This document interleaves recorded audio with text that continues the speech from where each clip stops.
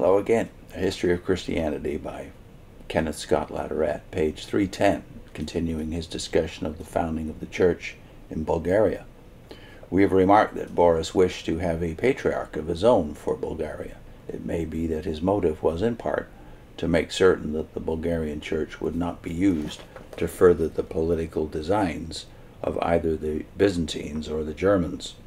It is probable that he at least wished to have his realm and his church on a full equality with Constantinople. We've reported how he bargained with both the Pope and the Patriarch of Constantinople to attain his ambition and took advantage of the rivalry between the two sees to gain his end. Boris did not at once obtain a patriarch, but in 870 Ignatius consecrated a Bulgar as archbishop and sent him with ten bishops and many priests to his new see. In spite of the surrender by Photius in 879-880 as part of his peacemaking with Rome of his patriarchal powers in Bulgaria, Boris continued relations with Constantinople. This was natural, for that city was much nearer than Rome. He sent a younger son, Simeon, to Constantinople to be educated as a monk, presumably with the hope that he would return to head the church in Bulgaria, thus keeping both state and church in the hands of one family. Some of the Slavonic clergy who had been trained by Constantine and Methodius and who had found their old, their old homes impossible were welcomed by Boris. The latter was trying to bring about an amalgamation of the Bulgars with the subject Slav majority, so that that end, and to that end was encouraging Slavonic literature. One of the exiles, Clement of Ohrid, probably a Byzantine Slav, was sent by Boris to Macedonia, and the, there established a school for training clergy and translating sacred books. Later, he became a bishop. In 889, Boris resigned his throne and retired to a monastery which he had founded near his capital as a center of Slavic Christian culture, and was succeeded by his eldest son, Vladimir.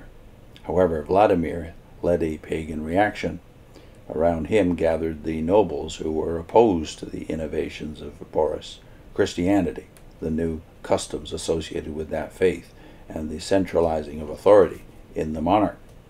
After a few years, Boris, thoroughly aroused, emerged from his retirement, deposed Vladimir, had him blinded and placed in confinement, called a national council, and had Simeon chosen for the vacancy.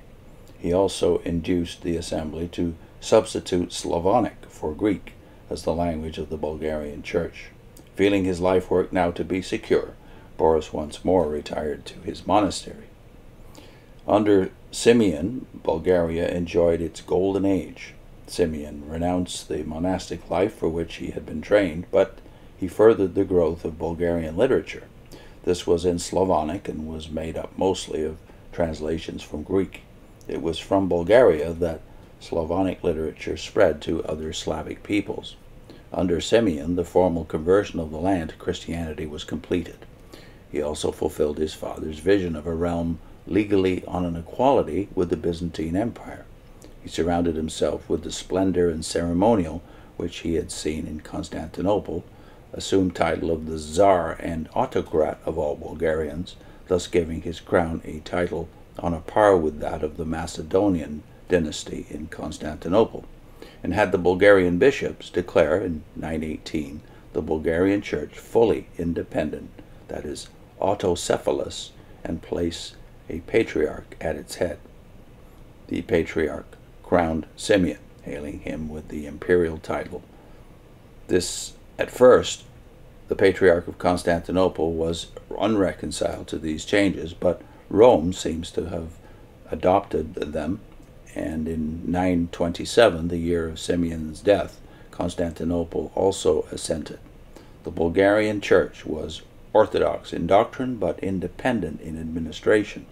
By Simeon's initiative, it was the first to establish the tradition, later characteristic of the family of Orthodox churches, of being reciprocally independent of one another administratively but of agreeing in doctrine and regarding the Patriarch of Constantinople as a kind of primus inter pares, that is, first among equals, among their heads.